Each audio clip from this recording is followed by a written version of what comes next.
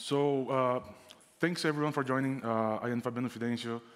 I am a software engineer who works for Intel as part of the Cloud Hypervisor in Kata Containers team.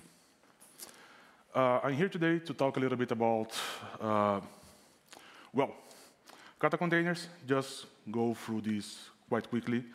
Uh, the confinement work that we have done, because this talk uh, is confining the extra security layer, so we are going to go through the how we got Kata containers to properly behave using SELinux. Uh, what is still missing? The benefits to the community, and we're going to do a quick recap. I must tell you, like, I have a lot of slides. So I may not be able to actually get uh, to the Q&A here. I'm going to have to speak quite fast, but I will be here, outside, uh, so we can just chat there. Don't worry, I'm not going to be running. Cannot run anymore. So, uh, Kata containers. Uh, I guess the, the best way to start talking about Kata containers is start talking about traditional containers. Uh, is everyone here familiar with traditional containers and Kata containers? Okay, so cool. Traditional containers are pretty much like a process running uh, on top of the host Linux kernel, and they are confined by C groups, uh, namespaces, and they can have sometimes like um, mandatory access control, which a bunch of people just disable it. Uh, and they can have, uh, they can be like less privileged or more privileged like, uh, according to capabilities and seccomp. Kata containers is pretty much the same thing, but we provide an extra hardware virtualization layer where you can actually run the, your container process inside. So uh, on the case here, uh, on the right, if there is escape, you are pretty much uh, on the host Linux kernel, like you can do pretty much whatever you want if this is not uh, confined by some mechanism like uh, SELinux. On the Kata containers, though, like if you if you have a escape you are inside that really, really lightweight virtual machine, and the only thing you can see there are the resources that were allocated specifically for your pod. So you, you cannot mess around with different processes unless you are able to also escape the virtual machine, which is like, well, good luck. Uh,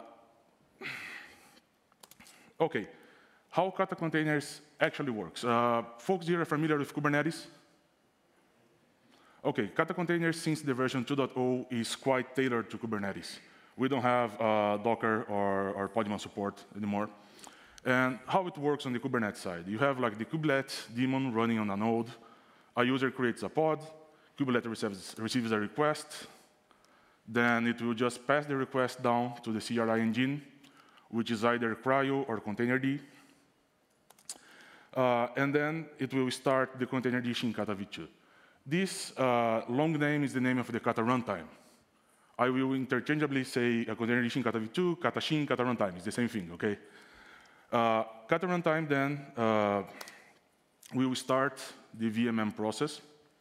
And on kata containers, we have support for, well, we actually test on RCI three different VMMs. QEMU, which is, I guess, everyone's familiar with. Uh, it was the first one that we started using uh, we have support for Firecracker, which re relies on Rust VMM. And we also have support to Cloud Hypervisor, which is a project from Intel, from my team, which is also based on Rust VMM, but it's like really, really tailored for, tailored for the cloud use cases. Okay, uh, Kata runtime starts the VMM process. The VMM process will actually like have the guest up Inside the guest, we have a init process that is the agent, and the agent is responsible for the lifetime of the containers. Uh, you have to share content between the host and the guest. You have to share the container rootfs. So you have, if you have volumes, if you are mounting volumes, those have to be shared between the host and the guest. There are two ways to do that. Well, the first one is using uh, device mapper. So you can just attach uh, virtual block or a virtual SCSI device there. Or you can use something like VirtIO FSD or NydusD, which is like a shared file system protocol that can just like allows you to do that. Uh, VirtIO FSD started as a replacement of the old 9pfs, which we all hope that stays as that as it is nowadays. Uh, so enough talk. Let me show you uh, a little bit of what I've been telling you. Here I have a Kubernetes cluster running with CRI-O as the CRI engine. And I'm going to start two uh, Nginx containers. The first one is going to run with the default runtime uh, using the Nginx image. The second one has this. The main difference here is this runtime class name, which is just telling me, like, I'm going to use the kata containers runtime uh, with the QEMU as VMM. So start both pods. They are both running. Uh, let's actually check that they are behaving as, as expected. So the first one, well, for both of them, we're just going to check that the Nginx server is up. Uh, works very well for the runC case, which is the default uh, container runtime, and also works very well for the Kata containers. Now, let's take a look at the processes that are running on the host side. Uh, let me just go back here. We have the kata runtime process. We have uh, VirtIO FSD that I mentioned for sharing the file systems between the host and the guest. And we have QEMU. So those are the processes that are running on the host side, and those are the processes that can, if there is an escape, are through those that an attacker can, could actually have access to our host. So we have to combine them better. Uh, what is the best way to get a process that we see here that is running as root? Because rootless Kubernetes is still not a thing yet. They are doing good progress, but what is the best way to confine a process that is running as root to not have access to other content? SELinux. Uh, so what is SELinux? There is this, uh, Red Hat has this really nice definition uh, in their, their web page. They say like, ah, this is uh, security enhanced Linux, uh, and it says it was started by NSA, uh, got to the Linux kernel in 2003, so you know this is a quite mature project and quite well-developed project, and it has been uh, expanding since it started to accommodate new technologies, which is amazing. Uh, I like the definition, though, from uh, Lukas Vrabec from Red Hat, who says that SELinux is a technology for process isolation to mitigate attacks via privilege escalation. How does it do it? I guess uh, the main thing we have to understand here is the difference between mandatory access control and discretionary access control. DAC is what we have with like any Linux system. We have a file, you can set who owns the file, the permissions on that file, and that's pretty much it.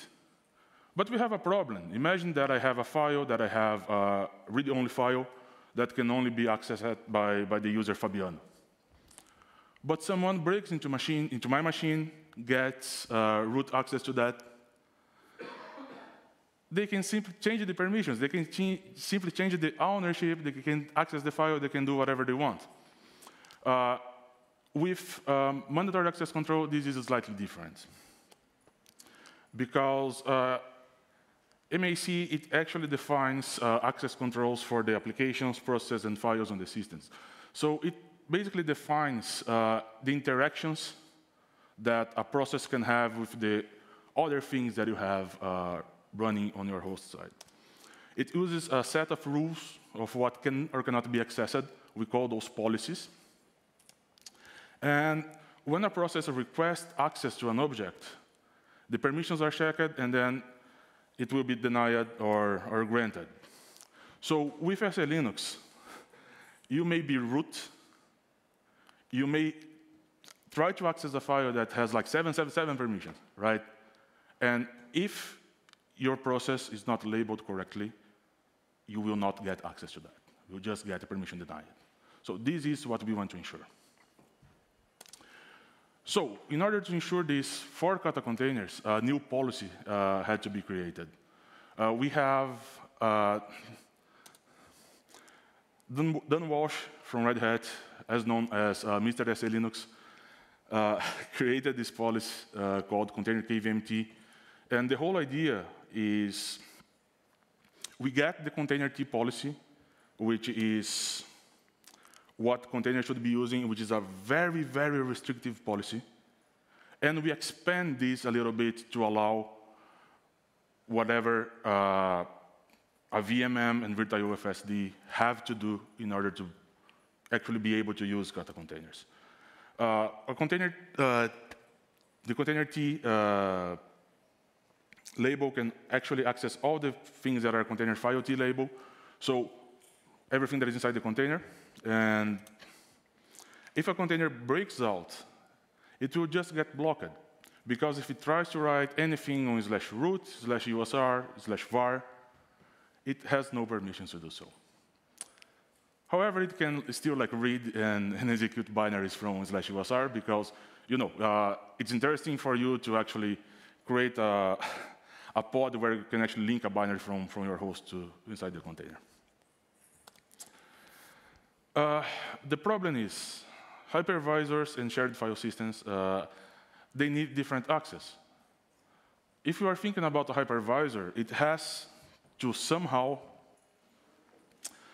have access to TUNTAP devices in order to pass this to the guest side, and then we can have connectivity inside the guest. Uh, VirtualUFS, it has to mount uh, directories volumes uh, on the host side. And we don't want, we really don't want the, the normal container T label to be able to do so. So instead of like actually expanding the container T, the decision was create a new container KV, KVMT type. And mind, this is way more restrictive than just the VM normal label, because it was going in the opposite direction. We got the containers and just tuned that to what we need for, for Kata containers. And we hope that this would work out of the box for all VMMs and shared file system solutions. We were wrong. uh, so, anyways, uh, this was introduced. Uh, the most part of the work done on this front, uh, there were two projects there. Container SELinux, which is the policy, so Dan Walsh added the new policy there. And then we have the SELinux library for Go. And we had to add the support to actually checking the correct file, see if the label exists on the system, and then actually properly pass the label, set the label to the process. So those two projects were involved there, and then we wanted to have this actually working as part of Kata containers. So the approach taken was we should receive a label from the upper process.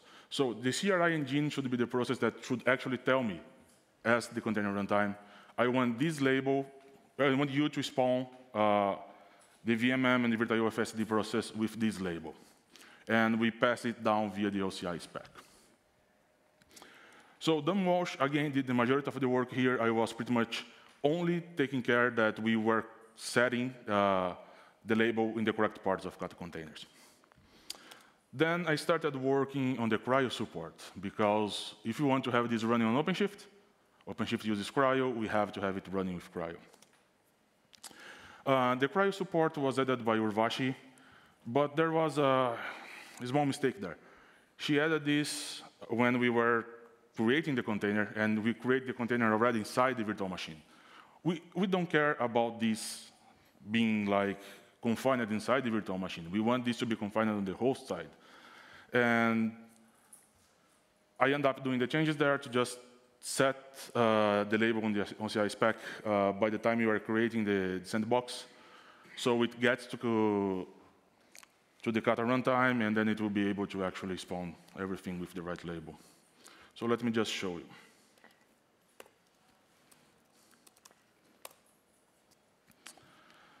Uh, this is, I'm not going to go and run the whole demo again because it's exactly the same recording. I have the links for that. It's exactly the same recording. This is just second part of the recording. Uh, I'm just going to show you here that the first demo I run with SE Linux uh, set as enforcing. SE Linux has three modes. Disabled, don't do that, please. Uh, permissive, that is like, you can run everything, but you're going to complain about that. We're going to log all the errors. And enforcing, which is like, if there is an error, I'm just going to block it. So everything was running as enforcing. And here you can see the label of the process. So we have the Virtio FSD here. Uh, is that it? Yeah. VirtIO FSD here, and this is running as the container KVMT, uh, VirtIO FSD, and the same about QEMU. But CRI-O is not the only CRI engine that we, are, we have interest on. We have Containerd. Containerd is by far the most used CRI engine out there. And does it work? there is only one way to know, right?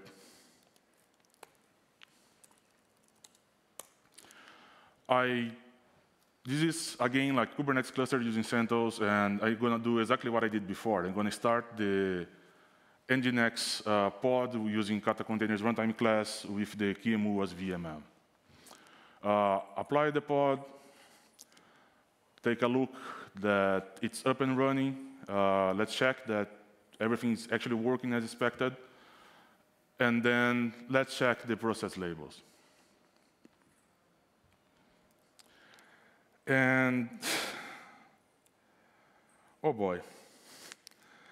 So you can see here, the Virtio FSD is running with the container runtime T label. It's not the container KVMT, uh, it's actually the same label that the Kata runtime is using. This label is really permissive. It allows you to play with the C groups. it allows you to create namespaces.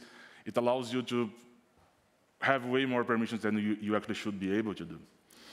Uh, but so this is this is weird. There is something wrong here. Uh, the same happens with the the QEMU, uh, the VMM process. So let's compare. Like uh, up there we have Containerd. Down here we have CRI-O. Uh, we have the same labels being used for the Kata for the Kata runtime, but we have those different labels being used for for the VirtIO FSD and QEMU process. Down here is the right ones, up there are the way more permissive ones that we don't want. So I started debugging this, like, what is going on, right? So the first thing that came to my mind is like, is SE Linux like actually enabled on the Containerd side? This is the configuration that I'm using, and here you can see it is enabled. So I didn't miss that part. Does Containerd actually have support for passing this uh, KVM Containerd label down to the, to the Kata containers? It does. It was added by Michael Crosby in that commit over there. It was almost a birthday gift for me one day before on August 2020. So, am I actually running a version of Containerd that has that patch I was using uh, 1.5.2, and that is part of 1.5.2. So there must be something fishy with the code. So uh, sorry if this is too small. Uh, this is the best that I could do. But what Containerd does when it's uh, actually setting up the label, it comes here, it tries to modify, modify the process label, it checks like, is this process here? Kata containers. If it is, let's just get the KVM label here. That one we'll call this one here. And this one here will just get uh, to this function. Well, this function will actually populate all the content from that file. And this one here will check, like, if container KVMT is part of that file over there, uh, customizable types, we return that, OK, uh, here is the KVM label. Uh, otherwise, it will just return nil, which means that it will be running with the same label as the parent process. And you can see that as it's running, as it was running with the container uh, runtime T, it's exactly the same label as the parent process. So let's take a look at that file that it's actually using. If we open that file, we don't see the container KVMT label there. It's just not there. So what do we know? We know that uh, containerd searches for a label in a file where the label is not there. This label, though, is present in another file called uh, in USR share containers SELinux context. Those are two different projects. Those are two different packages. Uh, the first one over there comes from the SE Linux policy targeted package from, from your distro. The second one comes from the container SE Linux process, uh, policy and, and package. So how do we fix that? What shall we do to fix that? Just remove a bunch of code. Best way, right? Uh, what I'm doing here is I actually, instead of doing this whole dance to get the label or not, I just rely on the SE Linux library because that library actually knows where to check for, and if, if it's present there, it will just return you the right label. If it's not, it will return you an error. So we just do this, rely on that, and let's see if this works.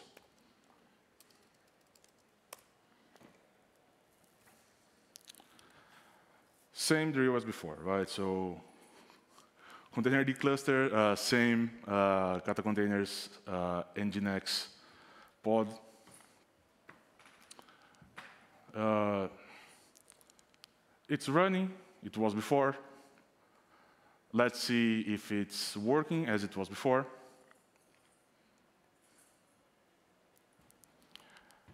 And now let's take a look at the label of the process. Uh, you can see here, VirtIO FSD is running confined by the container KVMT. Same about the QEMU process. So now we have the right uh, level of restrictions that we want to have. This uh, was merged as part of the containerd 1.6.0 beta 5 fixes there. I backported this, backported this to the containerd uh, 1.5.9. And cool, containerd now has support to this and is working like as it is expected to work. Uh, but we are talking about QEMU all the time. I, I, work for Intel. I have a really strong interest in having Cloud Hypervisor running everywhere as possible. So does it work? Again, only one way to check it.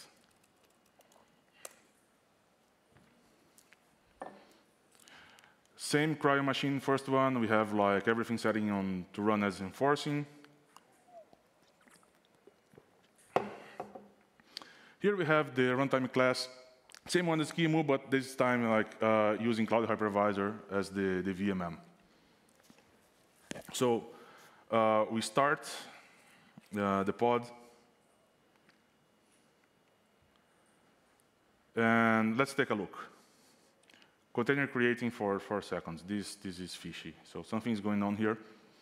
When we describe the pod, uh, we can see that there was an error there. If we take a look whether uh, SE Linux was able to catch something, you can see there was an, an AVC. Uh, don't worry that much about this right now because I have those here. So up there, is the error that happened uh, when trying to start the pod. Down here is the AVC. It basically says, OpenTAP failed because of permission denied. The Cloud Hypervisor binary, which is running with the container KVMT label, is not able to open a TUNTAP device. In my mind, I was like, how is it different from what QEMU was doing? took a look at the Kata containers code and what QEMU actually does. It receives uh, the file descriptors of an open TUNTAP device. While with Cloud Hypervisor, what we do is we get, we open the, the TUNTAP device as part of the Kata Shim. We close it and we get, its, we get it, it, its name, pass the name down to Cloud Hypervisor, close it and say, hey, open this for me. And then it's not allowed to do that. Does it have to be fixed on Kata containers or Cloud Hypervisor? Yes. Uh, so let's go a little bit about how Cloud Hypervisor works. Uh, Cloud Hypervisor is quite neat. Like you, you, when you launch Cloud Hypervisor, it basically starts an HTTP uh, server for you, and then you can talk to, to Cloud Hypervisor via a REST API. Uh, then you create the VM, but create the VM just means you pass a configuration, Cloud Hypervisor will use that configuration for a VM whenever the VM is booted. So create VM and boot VM are two different things. Uh, but we have a problem. We have a problem because create VM does not receive, does not have the capability to, the possibility to receive any file descriptor from for the network device. Uh, but you can do this when you are attaching a new network device. However, it was only possible to do that if the VM is booted up, but like a, attaching a network device when the VM is booted is not the way that Kata containers, well, the containers would work in general. Uh, we expect the network to be up when sandbox is created. It will just fail. And then we have a problem that uh, this REST API is provided by this project. Well, there's this project called a, uh, Open API that does the bindings. It out-generates code for you so you can get these definitions and you can just like out-generates Go code that we use inside Kata containers. And it has no notion about uh, the socket, socket control messages, so that was hard. So what I did to actually fix this on, on the Cloud Hypervisor side, I talked a lot with uh, Robert uh, Bradford and Sebastien Boeuf, who are the maintainers, and we decided to just allow people to create the VM. It means create the configuration, patch it.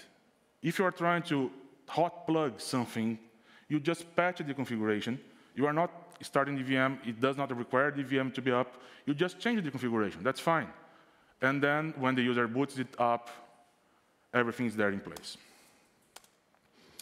Uh, this work was done, merged, and this is what we are using on the Cloud Hypervisor side. On the Kata container side, though, we had to, to do a few changes because we were getting the network device, we were creating the VM, and then we were booting this up. But we had to postpone, postpone the network addition to after the VM is created, but before the VM is booted, because we want to do this change in the config where we can actually pass the file descriptor down to Cloud Hypervisor. And instead of passing the name, we pass the file descriptor, because if you pass the name, Cloud Hypervisor has the preference for that, and it will just try to open the device by its name. And because of the limitations on OpenAPI, what we had to do was actually taking care of the request by ourselves, because OpenAPI has no notions about sending and receiving sockets, so we just had to do this uh, simple put a request, get the response on, on our side. And this is a work that is still uh, going, like it's there for, for review, had like some really good feedbacks, and I hope to get this merged next week, and this will be part of the next release. So let me just give you a demo of this running.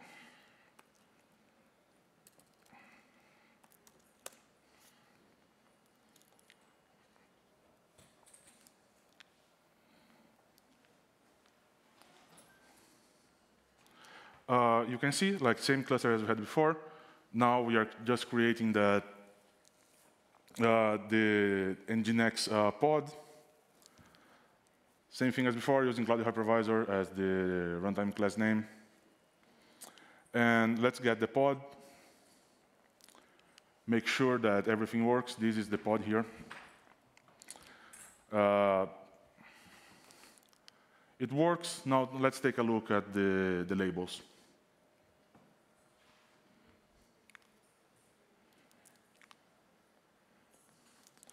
Yay. You can see here, uh, VirtIOFSD is running as the container KVMT, Cloud Hypervisor process is running as the container KVMT, uh, VirtIOFSD process, and you can see as SELinux is set as enforcing. So, yay, we have this done. But is this work completed? Not only no, but hell no.